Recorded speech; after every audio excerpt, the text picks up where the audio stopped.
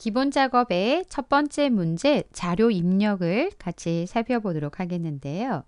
2급 실기 시험에서는 기본 작업 첫 번째 문제로 기본 작업 다시 1번 시트에 데이터를 입력하는 문제가 출제가 됩니다. 교재에서도 두, 어, 출제 유형 두 문제가 수록이 되어 있는데요. 어, 직접 키보드를 이용하셔서 현재 A3부터 시작하셔서 G11 영역에다가 직접 입력해 주시는 문제입니다. 따로 서식을 지정하신다던가 사용자 지정 서식을 이용하지 않고요. 문제 제시된 내용을 그대로 키보드를 이용해서 입력합니다.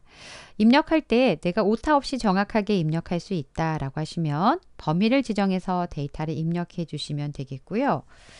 그 다음, 음, 이 부분은 여러, 제가 이제 타이핑하는 거를 보여드리는 건 좀 그래서 여러분이 직접 키보드를 이용하셔서 SS 대문자 다시 111 이렇게 입력하셔서 엔터 엔터 누르시면 A11셀에 입력된 데이터 입력 끝내시고요.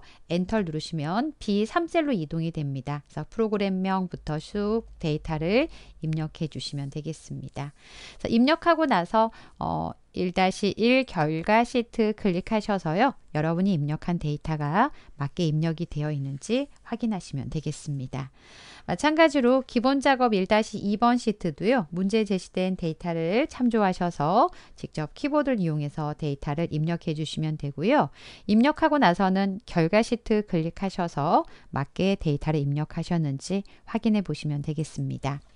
추가적인 설명을 좀 드린다면요. 그러니까 데이터 입력할 때 오타 없이 입력할 수 있으면 범위를 지정해서 입력하는 게 가장 빠르고요. 입력할 때 한, 하나의 어, 셀 입력하고 엔터 엔터 누르시면 다음으로 이동이 되고요. 반대로 위쪽으로 이동하실 때는 Shift 엔터 누르시면 반대로 위쪽의 내용을 수정할 수 있도록 이동할 수가 있습니다.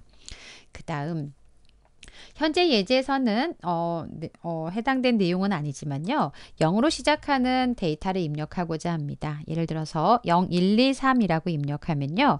어, 입력하고 엔터를 누르시면 앞에 있는 0이 표시가 되지 않습니다. 만약에 문제에서 0, 1, 2, 3이라고 입력이 되어 있다면 작은 따옴표 입력하시고 0, 1, 2, 3이라고 입력하셔야만 어, 앞에 표시 기호가 표시가 되지만 틀린 건 아닙니다.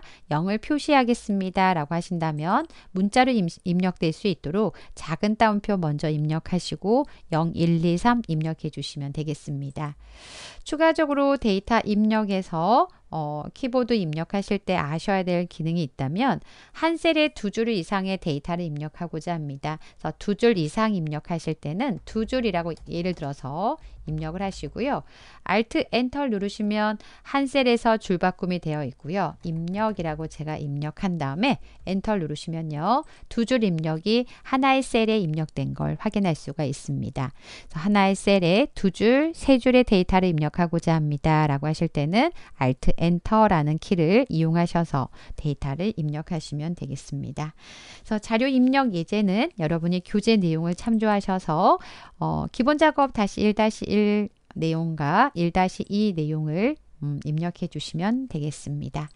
자료 입력에 대해서 같이 살펴보셨습니다.